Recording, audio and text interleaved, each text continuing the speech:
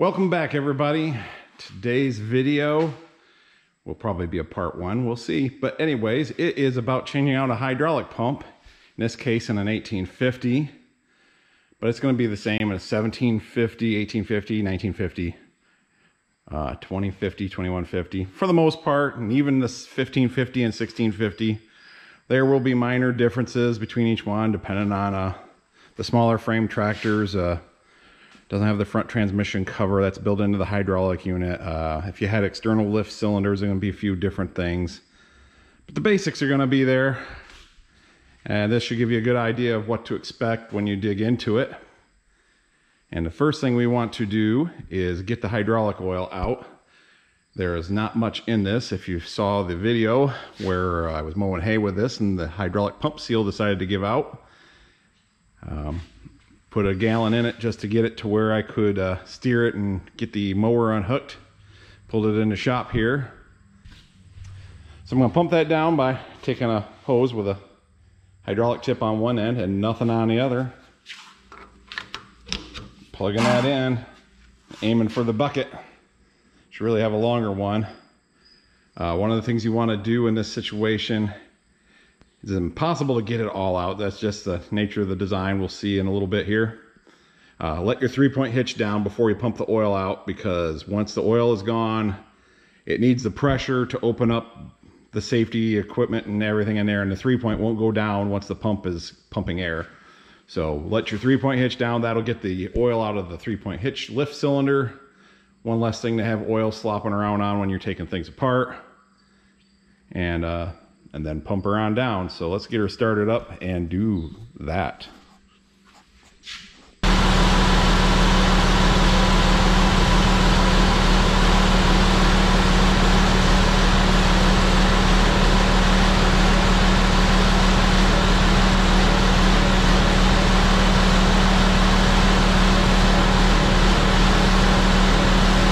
That's all the way down.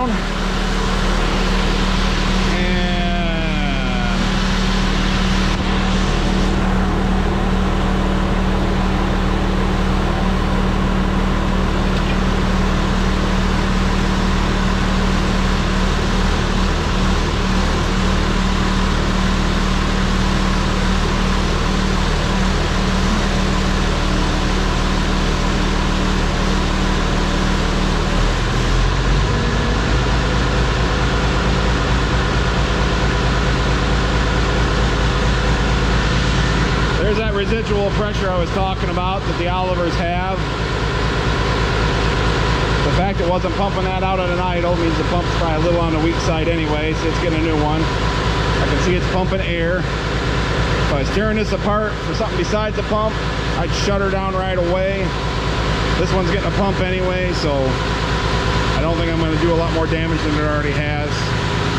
But that seems to be it. We'll shut her down before we break something. There was not much in there.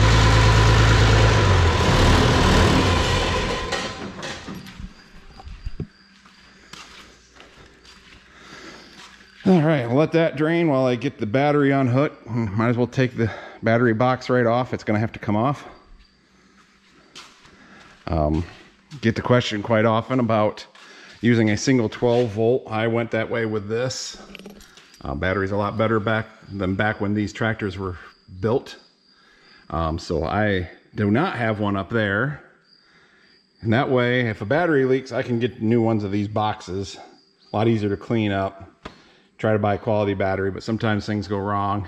It leaks up here, it gets on the fuel tank, it can get into the dash. And so I've just opted to only use the bottom box here. It's time for that part, that part that's gonna Oh, the tears.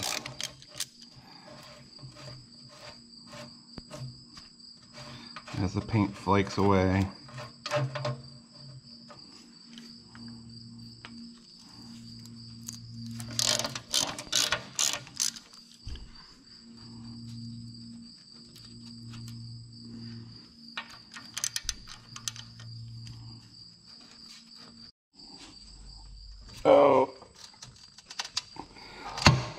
Holding it on. There it goes.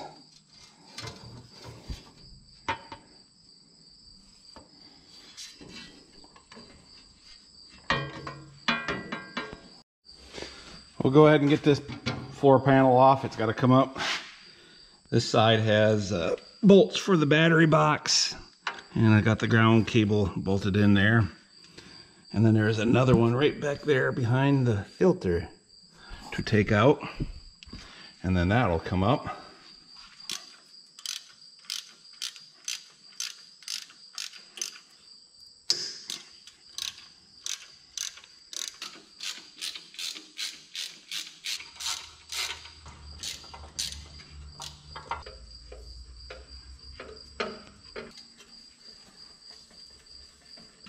I'm not going to be using the impact very much because that's more likely to hit paint, scuff up paint.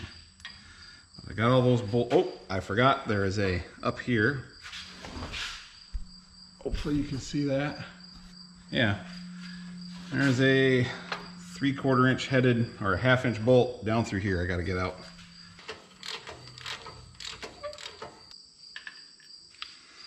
All right.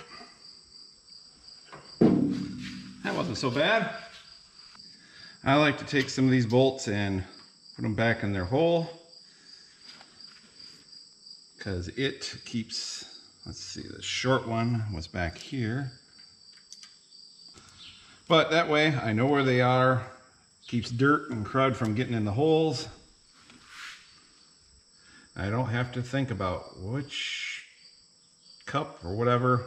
I'm not going to do that with these on the top because they go, they hold the unit on, so they gotta go. And at some point, this one got stripped out. Someone drilled it and tapped it for the next size larger. I guess that works. Now this is basically a just a filler plate. I do believe there are speed nuts on the bottom. Let me feel around under there. No, of course not. I will have to get an end wrench, probably to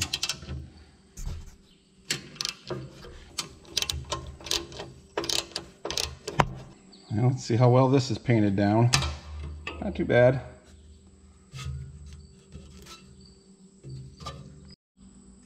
Before we go unbolting, we're gonna get the springs unhooked. They got a lot of pull against them, so they can be a little bit of a booger. Let's just put the GoPro right, right in the way. All right, Chris. Let's see if we can record it from over here. There we go. One down. Oh, they're latched together.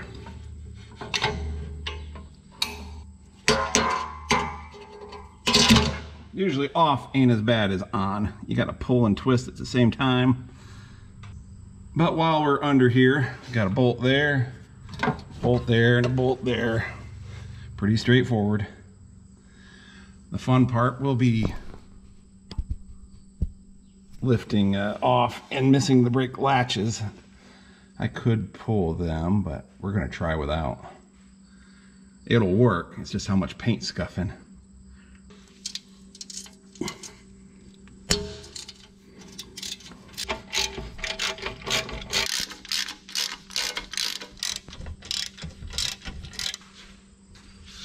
All right, let's see what we can do here.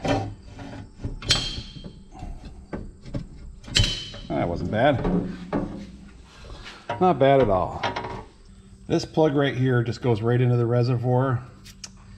I might pull that out and stick my siphon or my suction hose in there to try to get the last bit of oil out. Always seems like no matter how much you try, the pump doesn't get it all out. When you pull this up, you get oil all over. So I guess a little bit of paint damage there might be better than a mess all over the floor in the tractor. So I think we'll do the seat next. I'll get the back two bolts because they're harder to get to. Then I'll get these two.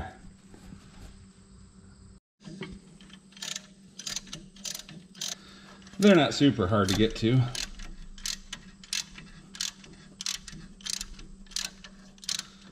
But might as well do the harder ones first.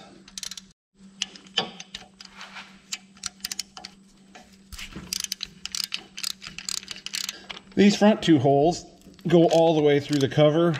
So I always put a, the bolts back in those. The back two are blind holes, but I still put the bolts back in them so I know where my bolts are at. But, and I also use these bolts as lifting points. So it's kind of nice to have the bolts there. Woo! Oh, the paint ain't strong enough to hold the seat on.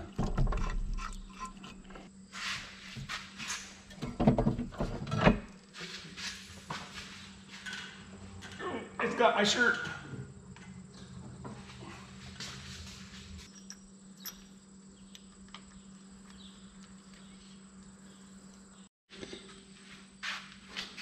Disconnect the three-point hitch. I just pull this top pin and uh, let it rest on the ground if I don't, you know, knock paint off or anything. Like so. Put that back in there so I know where it goes. And do the other side.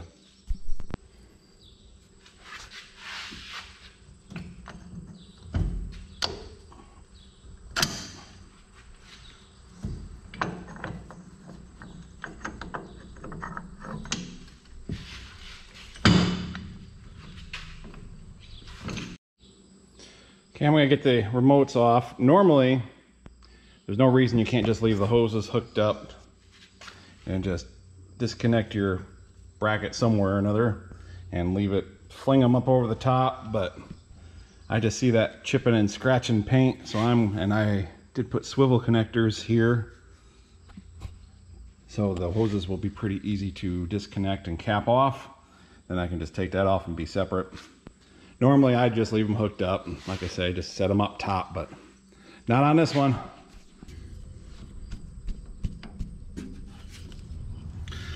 That wasn't so bad. Of course there's gonna be some oil.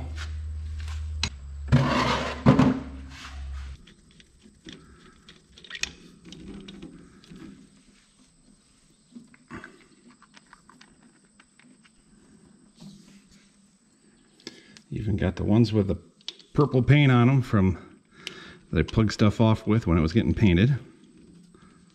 And I missed the bucket.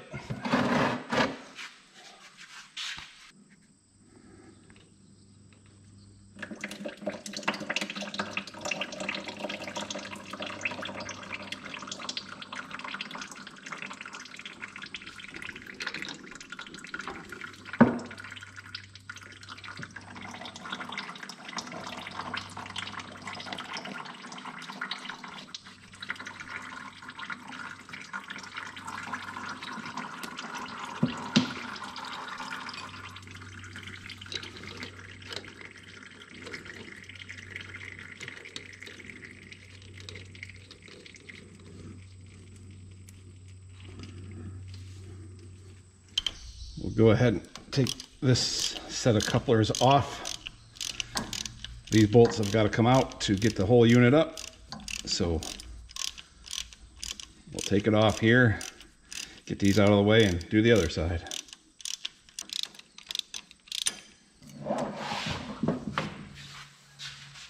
Okay, we'll get off the power steering line. That should be a 5 8 line wrench, at least to get it started especially, well, when you put enough layers of paint on, 5 eighths is tight.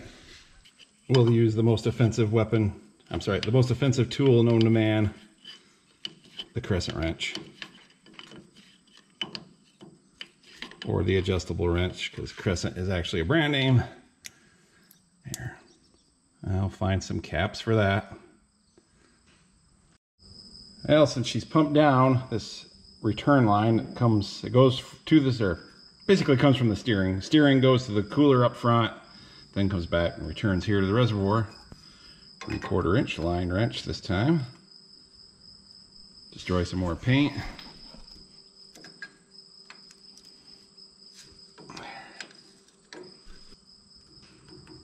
All right, now, oh, we need to disconnect it in there to get it out.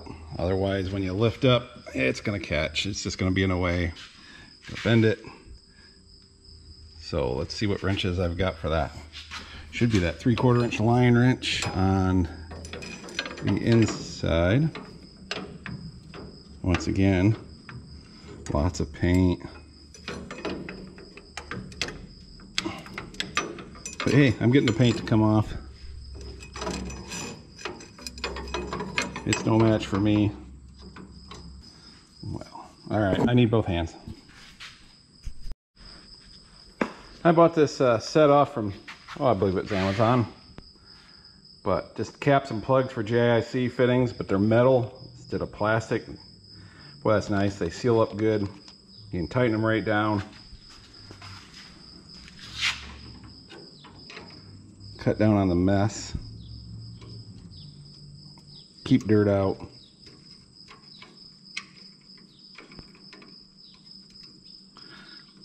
I think that's the right size.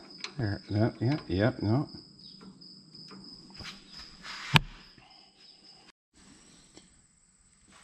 All right, everything else is unhooked. That wasn't super tight. So time to get all these perimeter bolts off. Uh, one that sometimes is forgotten by guys, this bolt here and its companion on the other side there. Right, right there. They go through too, so they both need taken off. And there's a pair in the back that we'll get to. Other than that, it's just follow the edge around, take out all the 3 8 bolts. There are four of these 5 8 bolts, 15 16 head on each side, two on each side rather, so four total.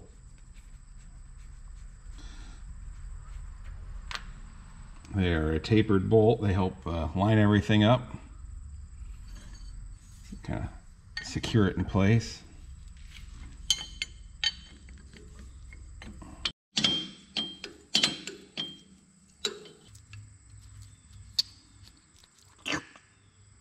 From the amount of oily grease in those holes, I would say this has been off before.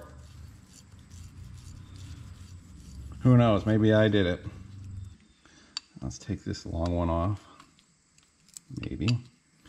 Oh, I got enough paint on this one. The wrench ain't gonna fit it good until I get all the paint off. All right.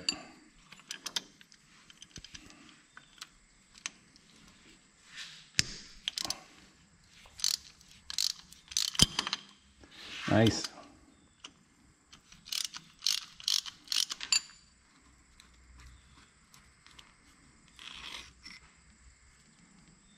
Yeah, you can see that's pretty long one. Reaches all the way down. There's a, as we'll see, the divider that goes through there and this bolts down into that.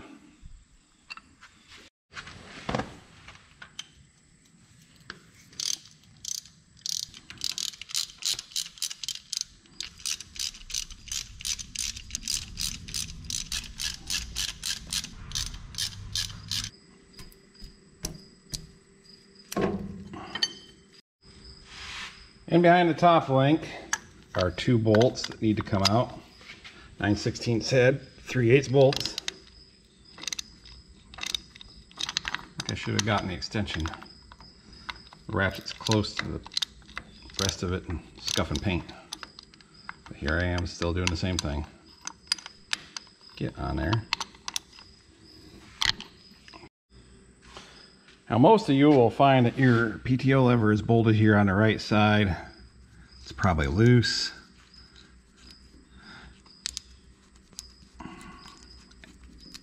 And you may have to pull the hydraulic lines out of the housing in order to get the bolts up on at least this back one.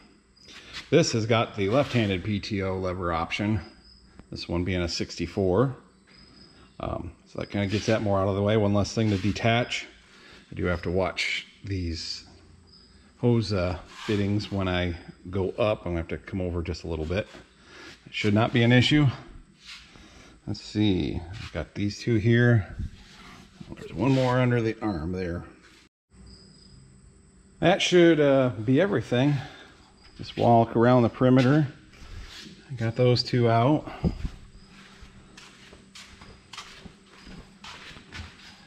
Those are all out. Hoses are disconnected. That's plugged off. I think I'm ready to lift it up. I'm going to use the cherry picker, partially to show that a regular cherry picker is enough to do it. Um, my A-frame's kind of trapped, and with all those chain fall chains hanging down, it could scuff paint. So this will work.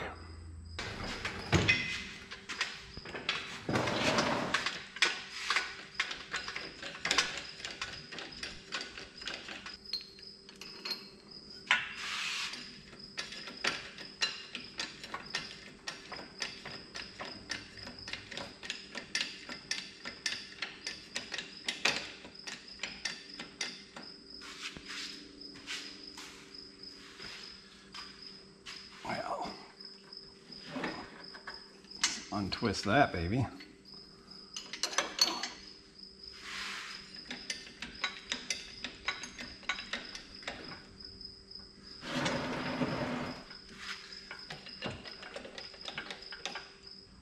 Okay, um, there is a dowel pin right here in this corner. We're gonna want that to come up with it. And likewise, up here in the front corner. So I'm gonna get my big wide chisel to uh, help separate things. Depends on who did it last. We would uh, often use grease on the bottom gasket so that if we ever had to work on it again, it would separate easily. And that worked, uh, worked good as far as keeping gear oil in where it needed to be.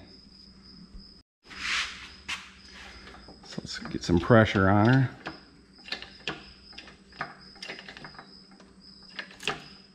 Oh, I hear it separating. I see it separating. This is the part where I get my skinny thin or wide thin chisel. Help it along. It's like delivering a baby. It could happen on its own, but no one does that anymore.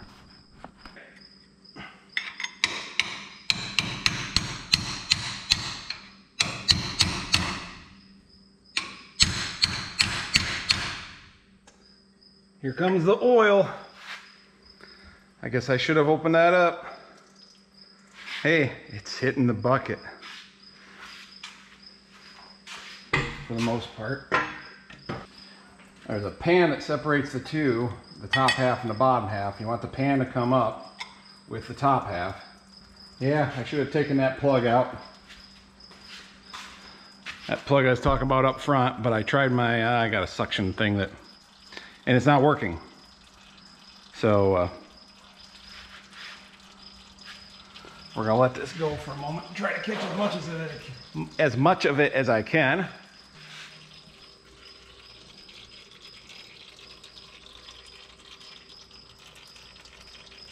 At least the paint's had time to cure. And the concrete.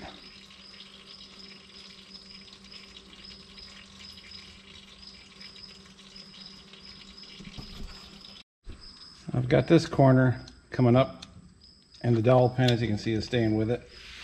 And I'm under the pan. That kind of slowed down the flow because now it's tipping forward more. Sending oil up there. Let's see if we can't get that front corner out. Yeah. I need to move some prying stuff around. Uh, let's see if I can't get under that pan.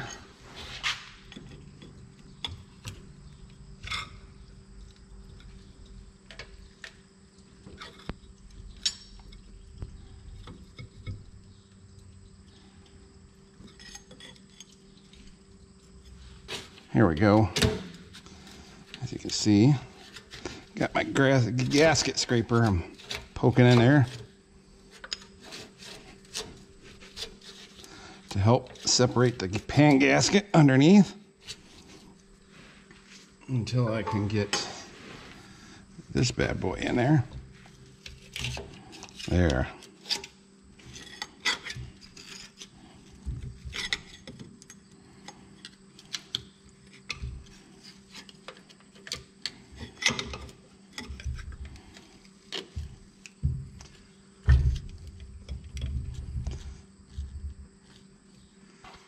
Probably hear some clanking when I lift it up and all these uh, pry bars fall out. Just trying to get the pan gasket to separate so that this corner will come up. There it goes. I can hear it peeling up there.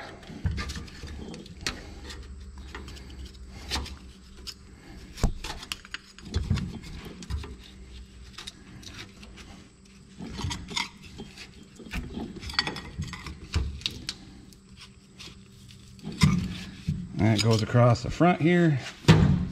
There, I think it just let go. There.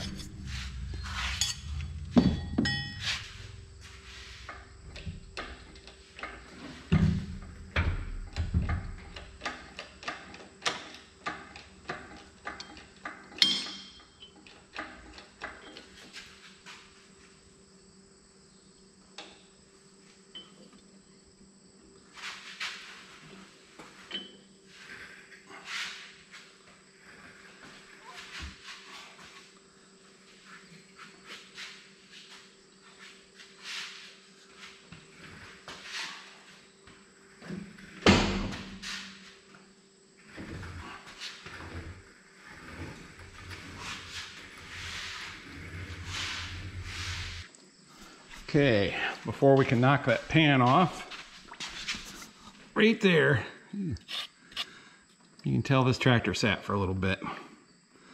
That probably didn't help the pump situation either. Got to get these two bolts off because they're also holding the pan up. There's a seal in here. I got a new one of those. This is how it senses draft from the lower part of the transmission for your draft control. Um, I probably, I think I'll knock that dowel pin down and then the oil can kind of drain out of that corner down there and try to get it emptied out. Got the roll pin out of that back corner. and take the one out of the, or not roll pin, dowel pin. And then I'll unbolt here since that's more in the center. That'll hold the pan up better. And this is pretty straightforward.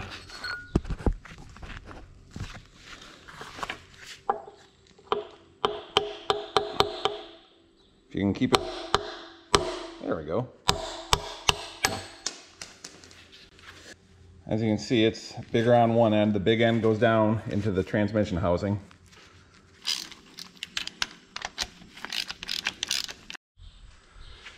Well, I turned on the thinking cap.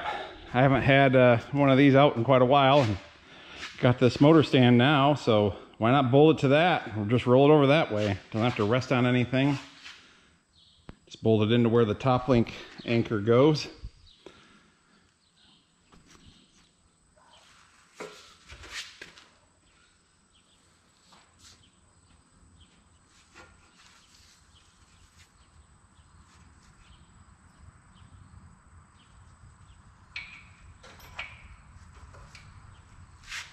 There we go. Now let's, I got the door open now the sun's out and starting to get a warm, but gives us some good light. There's our hydraulic pump and a three-point lift cylinder. On the internal lift cylinder, this uh, this lift arm here will hit the back of the case, keeping it from going too far. But the ones with external cylinders, there's nothing. And trust me, I've broken before these arms can keep swinging around and that little aluminum link there will will suffer the consequences. All right. Now I would say this looks like an up or a newer style pump. I might be able to get that well without pulling the three-point cylinder. Because if I do have to pull the cylinder, then I have to flip it back over and disconnect the uh, linkage going to the servo valve. Then that involves taking the top cover off. So, I guess we'll we will try it. Um, something I was going to double check, and it looks like it's been done, is, oh, earlier they had a cast iron uh, street elbow there. I think that's 3 eighths, might only be quarter inch. But this is a relief valve for the three point. And why they have that on is once your three points set at height or something, it, the servo valve closes it off from the rest of the hydraulic system to hold its position.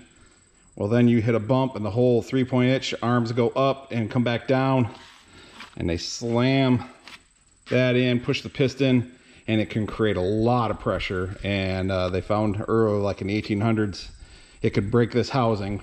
And so they put a relief valve on.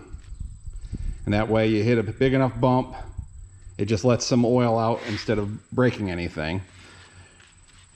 Well, they were using a cheaper pipe elbow and with a good enough shock, they can break off or crack and then all the oil, the three point can't come up because all the oil is just dumping right back into the reservoir. You don't lose any oil, but you also don't get any lift. So if you had a sudden uh, shock load to your three point hitch and now it won't go up, chances are this is your problem.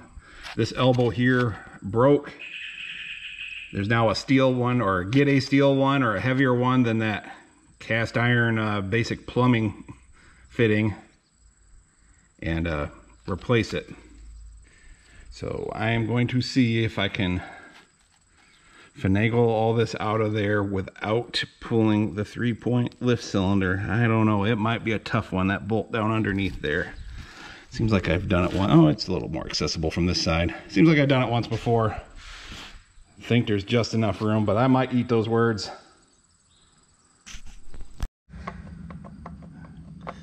They say expect the unexpected. That bearing retainer is loose. Not grossly, but it can spin in the housing. I'm gonna pull it out. The bearing seems kind of loose too. All that stuff wiggling could have uh, contributed to the seal failure. Oh yeah. So I think it's all gonna come out and uh, we'll see what we can do to make it better. Gotta get this back together for the daughter's senior photos. I probably should have held off. This front cover will come off and should be able to pull everything right out there. And I'll show you something here in a moment. Okay, the cover is off. I just want to show you something here after I drop a couple tools. This is upside down, but this is a hydraulic pump. This was designed Everybody look at the sky. Come on. It's turning easy. Or you could bolt another pump on the front. And then that's what this plug here, this plug, which is that one I was gonna drain it from before, upside down. You could uh, sump into your hydraulic unit with that, go into here, and then return to this port over here that's normally on the left, but since it's on the upside down, it's, well, still on the left from this side. I have never seen one set up this way. Uh, oh, uh, old uh, Oliver mechanic I know, Oliver Guru, he said when they introduced the 1800s, they, I think that's what it was, he saw one set up that way. I think just as a demonstration purpose. But you could have dual pumps on them. You could even plumb it into an exterior tank if you wanted. And I gotta pick this snap ring out of here. It's those lovely kind that are hard to get out. And then maybe some uh, sleeve type Loctite will uh, secure that up. But I think I got another one. There's like a this thing that's turning is just a spacer. But chances are the cast iron is what took the beating and not the steel. We'll see. But I did get the pump out. Um, took off the two bolts that went into the side of it, took off the bolts, slid it back. Then I could get the uh, bolts that were down here. If you got the older style pump with a cast part, you're gonna not get that lucky if you do have to remove this uh, three-point hitch lift cylinder, remember there's that bolt that goes in the side here by the just under the hydraulic levers. That's for your single acting that we've discussed in other videos. Um, you have to screw that out because that bolt's going in there to hold this check ball in there. So if you try to take it out without removing that bolt, it's gonna hang up. And then it's just a matter of these three bolts, but you also need to flip it over, take the top cover off, and disconnect some linkage. You might be able to lift it just off the uh, dowel pins and slide it back out of the way a little bit, but um, I do believe this dashpot is not gonna like that, if I remember right. So your best bet is to flip it and do it right. Let's see if I can hold this right, but that's pretty much all on the balls. It turned nice and smooth, but them, them bearings are loose. So they are gonna get replaced because I'm sure that was not helping things any. Probably setting up a vibration. Could have been hard on that shaft seal. She had trouble at some point. Someone had to weld this up. I'll double check that and make sure it's not leaking, but it was holding oil fine right up until it wasn't, so and then it would hold fine it'd hold oil as long as it wasn't running so i don't think it's the pan that's leaking but we will double check it just to be sure get that rust cleaned up off from it and i was glad to see there wasn't just a little rust a little ding there little rust but if you get water this is where the pump sumps from that helps keep like any water or dirt from getting directly into it. But if you get enough, it'll still suck it in. It's unfortunate they didn't have some way to uh, drain this externally. I'm not sure how the heck they would have done that.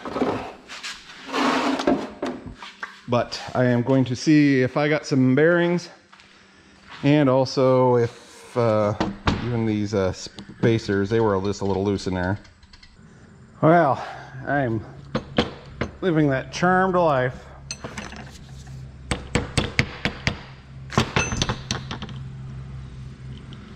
because I go up and I don't have the bearings but the book says it's the same as a new departure 3206 which is right on the bearing there and then wrote on the parts card for it was uh, that it was see also 6206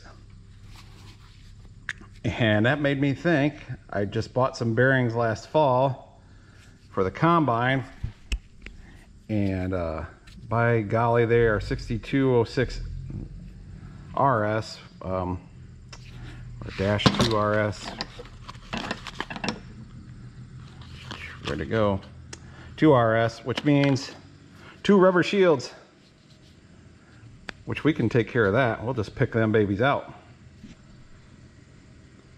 and then to make it even better I've got a new old stock, uh, one of these sleeves.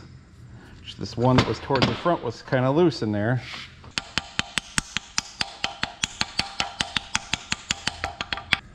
Oh yeah, that doesn't want to turn. I might still uh, stake the hole just a little bit with a stake with a punch, just to give it a little more something something, or maybe a little dab of uh, blue Loctite, or I don't know. It's probably never gonna be apart again keep it from spinning. But that's awesome. I've got the stuff to do it. Got a little carried away scraping my gasket off, but I knew I was gonna have to touch stuff up. So I will. I'll just finish knocking that through in the middle. And uh,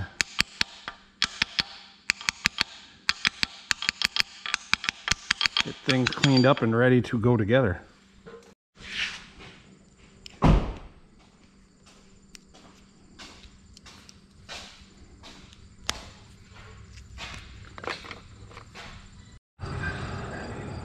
Oh, that one slides on and off easy enough, but I got some Loctite in there, so that's just gonna have to set up. This new one's good and tight. And boy, that just took a wobble out of all sorts of things, so I'm gonna put a little of this sleeve Loctite on the outside and drive it in there and get it so that everything can get set up. She's in. Uh, even this new sleeve grabs the bearings tight, but it was uh, still sliding fairly easy in the housing there. Uh, put some uh, what is that? 640 Loctite sleeve. Loctite. Um I also hit it with the prick punch. I was driving it in those little tits there. But um this is just the sleeve out here and I didn't hit the bearing with the punch. Anyways put some prick punch to the uh, outside of the sleeve and that really made it grab good. So between that and the Loctite I don't think she'll be slipping anymore that turns nice and smooth and no wiggle in it anymore. So that definitely did not help the situation any having loose bearings there.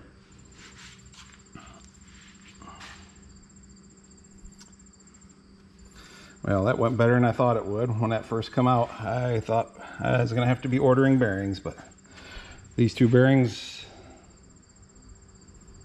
were uh, ordered them last fall for the combine. I only needed two, and I could buy four just as cheap as two and get faster shipping. So I bought the four, figuring, well, I'll have spare bearings, and they were the right thing for this. They were for the Pitman arm or shaker, pan shaker arm on the 8570 combine. Might let that cure before I try to mount the pump.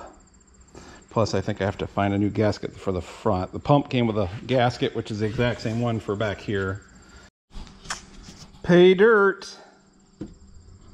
Let me see how well I can zoom in on this seal. But I can see the rubber. Oh yeah, look at that. Let me get the screwdriver.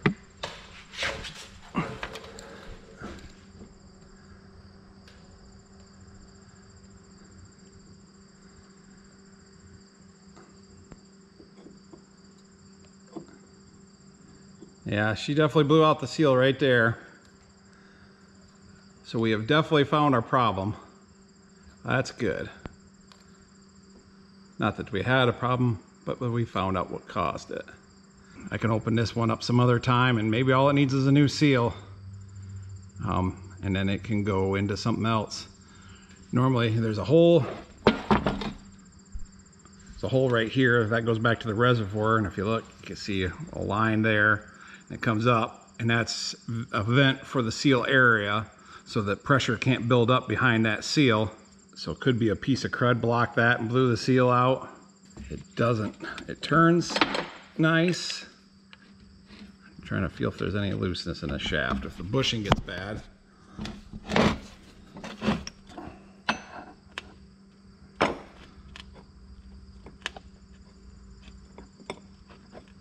Ah, I can't seem to wiggle it any, but I can turn it all right.